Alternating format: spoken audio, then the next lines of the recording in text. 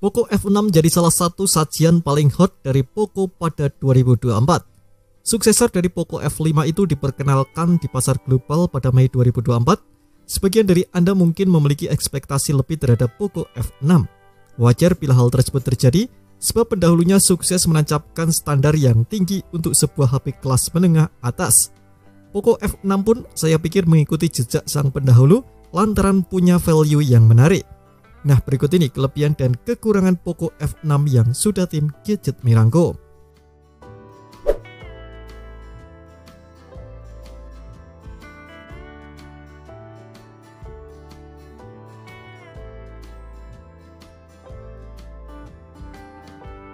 Penganut minimalisme seperti saya mungkin akan memiliki pandangan sama soal desain Poco F6.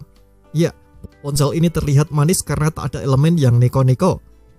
Tak ada modul kamera belakang, serta hanya ada dua tulisan yang memuat logo ponsel dan resolusi kamera utama. Kesan minimalis juga terlihat dari warna frame dan penutup belakang yang senada, serta bezel layar yang tipis. Asal Anda tahu, bezel atas dan samping layar Poco F6 cuma 1,35 mm, sedangkan bezel bawahnya 2,27 mm. Framenya yang rata memberikan kesan tegas, Baik frame maupun back cover HP ini terbuat dari material plastik, rasanya kurang wah memang. Akan tetapi Poco mampu meramu dengan baik sehingga build quality-nya Poco F6 cukup bagus. Hal lain yang membuat desain Poco F6 menarik adalah bodinya tipis, 7,8 mm. Bobotnya pun cukup ringan di angka 179 gram dan punya IP64. Adapun Poco F6 edisi global hadir dalam tiga varian warna, hitam, hijau, dan titanium.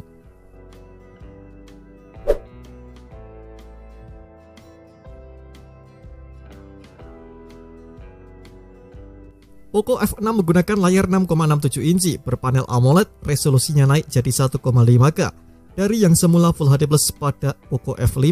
Layar Poco F6 mendukung refresh rate hingga 120 Hz yang adaptif. Anda bisa menyetelnya secara manual agar konstan di angka 60 Hz atau 120 Hz. Sayangnya tak ada opsi 90 Hz yang bikin gerakan jadi lebih mulus. Dukungan lain yang ada mulai dari touch sampling rate 480 Hz pemutaran konten dengan standar Dolby Vision dan HDR10 Plus dan mampu menampilkan 68 miliar warna. Soal tingkat kecerahan tak perlu diragukan.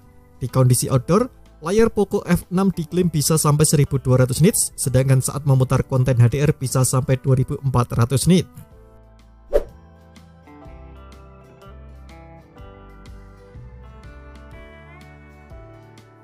Poco F6 membawa speaker stereo yang mendukung pengalaman multimedia yang asik. Speaker utamanya HP ini ada di bawah frame ponsel sedangkan speaker kedua menyatu dengan earpiece.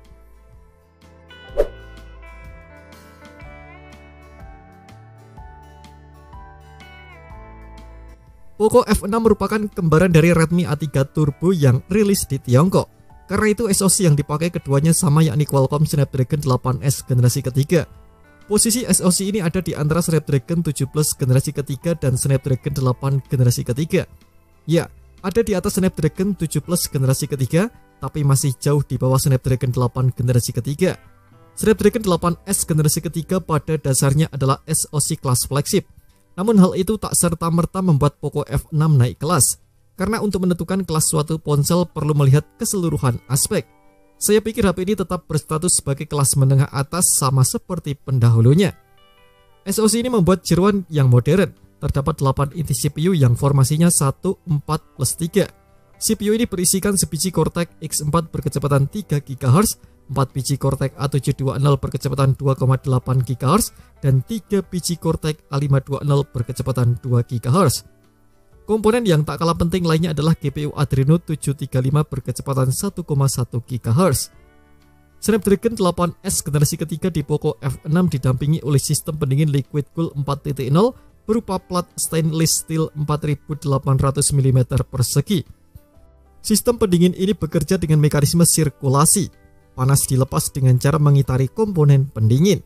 Komponen lain mendampingi SoC ini adalah RAM LPDDR5X dan penyimpanan UFS 4.0 ada dua varian memori yang ditawarkan, 8 per 256 GB dan 12 per 512 GB.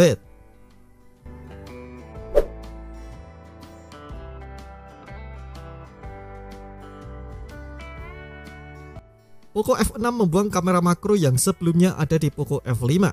Kini kamera belakang hanya ada dua, yakni kamera utama 50 megapiksel dan kamera ultrawide 8 megapiksel.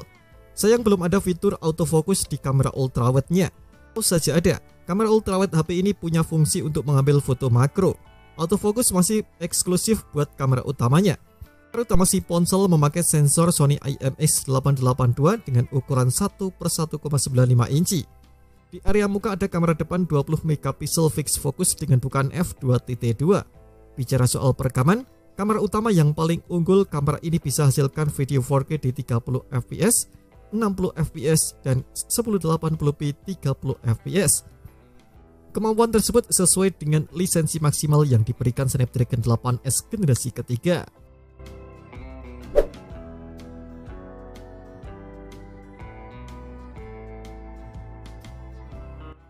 Poco F6 dibekali teknologi fast charging 90 watt, dukungan fast chargingnya naik dari semula 67 watt pada Poco F5.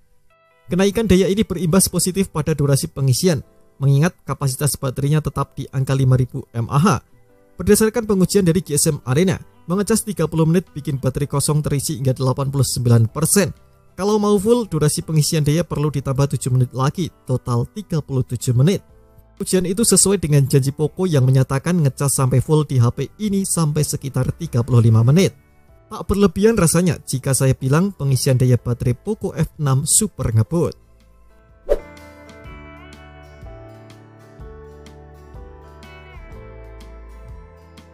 Kotak penjualan Poco F6 berisi aneka aksesori, tak cuma unit ponselnya tapi ada juga kabel USB-C, case, kepala charger, SIM ejector, serta kartu garansi dan buku petunjuk penggunaan. Saya sangat menganjurkan Anda untuk memasang case silikon bawaan pada HP ini. Case HP ini juga akan memuat Poco F6 tak akan goyang-goyang saat ditaruh di atas meja. Pasalnya, case tersebut akan membuat bodi belakang jadi rata. Kalau tidak dipasang case, HP akan terasa goyang-goyang karena ada tonjolan besar dari lensa kameranya.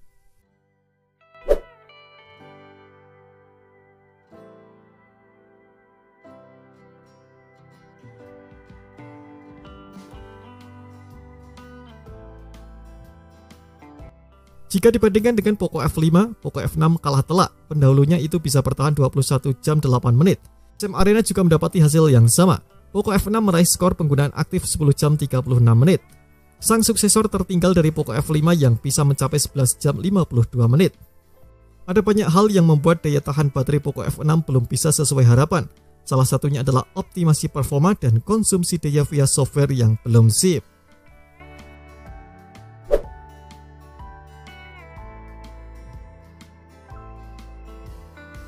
Poco F6 tak punya slot microSD dan audio jack. Buat kamu yang suka menggunakan earphone 3,5 mm wajib beli converter.